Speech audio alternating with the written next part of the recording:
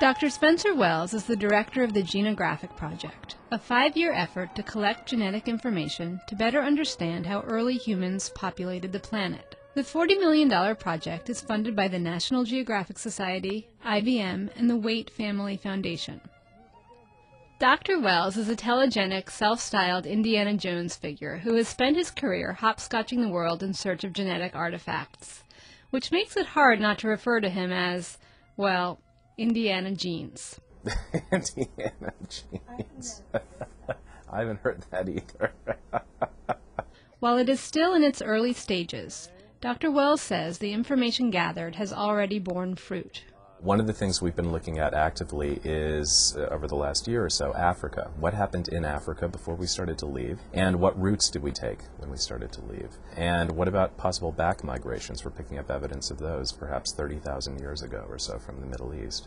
Perhaps not surprisingly, these clues are of great interest to scientists outside the field of population genetics.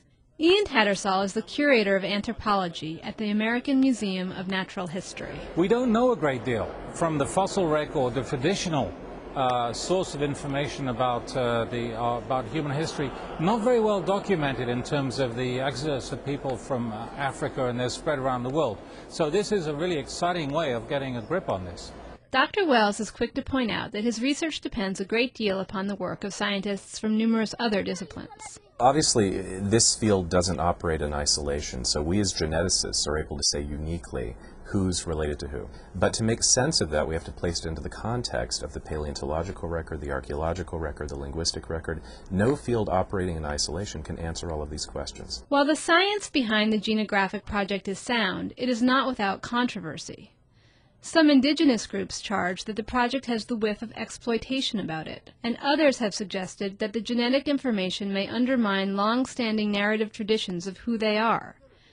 Dr. Wells insists these fears are unfounded. The first thing I have to stress is that participation in the project is entirely voluntary, and we're very clear about the possible outcomes when we talk to people about participating, i.e., the science may tell a story which is slightly different from a, an oral tradition, an oral history. But our goal, again, is not to take away their sense of who they are, their culture it's to synthesize the information. And so we want to add to your sense of who you are and your sense of community. If nothing else, the project may provide many of us with a first tangible sense of how recent our common origins really are.